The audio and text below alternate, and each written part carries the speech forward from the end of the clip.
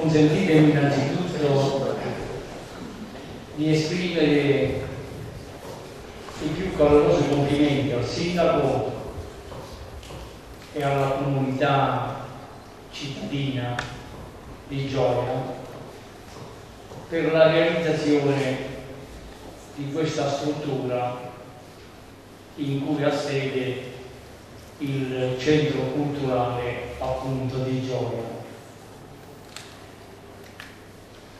E in questo centro si possono fare molti incontri. Per esempio a me piace in modo particolare sottolineare negli incontri e questa sera ne abbiamo una piacevole testimonianza della interdisciplinarità dell'espressione d'arte.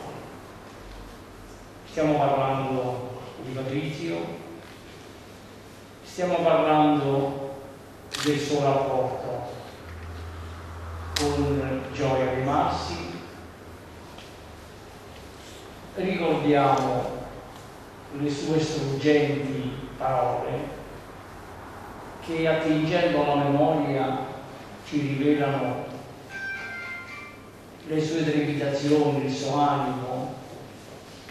E mentre facciamo questo, ecco, un'arte entra nell'altra arte, in un uh, dialogo veramente coinvolgente, per cui la musica e la dizione in pratica entra nelle nostre povere parole che sono di memoria e sono di, di, testimonianza per fare in modo che ci sia uno stretto collegamento tra le cose che ricordiamo, gli impegni della nostra quotidianità, ma anche il sogno del futuro. Il centro deve saper fare queste cose con la necessaria continuità, io direi più puntando a livello, alla dimensione, alla qualità che non alla quantità.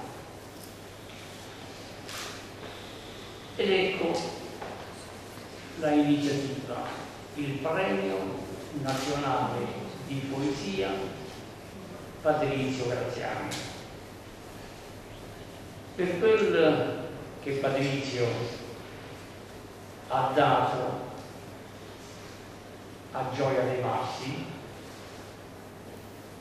questo a mio parere è un doveroso riconoscimento che sostanzialmente ognuno di noi si aspettava. Forse io, Emilio, dove sta Emilio?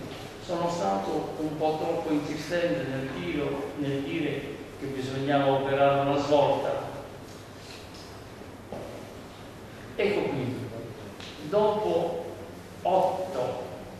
rassegne di poesia, dove il paese, la natura, le cose, sempre in memoria di Patrizio Graziani, e insieme al paese, alla natura, alle cose, l'uomo sono stati fortemente scandagliati con i moduli propri della poesia che si appalesava in quelle eh, ricorrenti eh, recitazioni e con la musicalità del dialetto.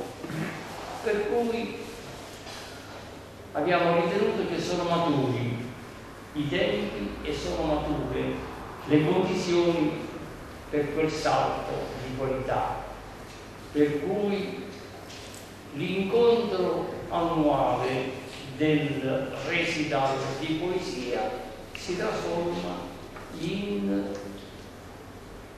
bando di concorso addirittura dalla dimensione nazionale della poesia.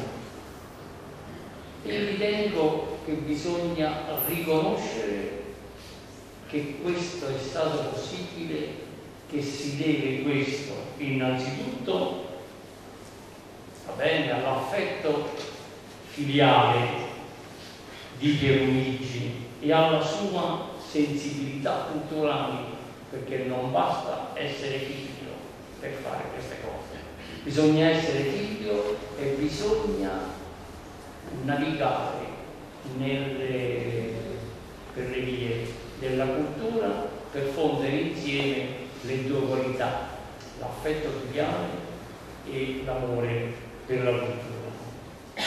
E si deve anche all'intraprendenza operativa e alla creatività di un uomo di teatro quale Emilio Rosselli se questo evento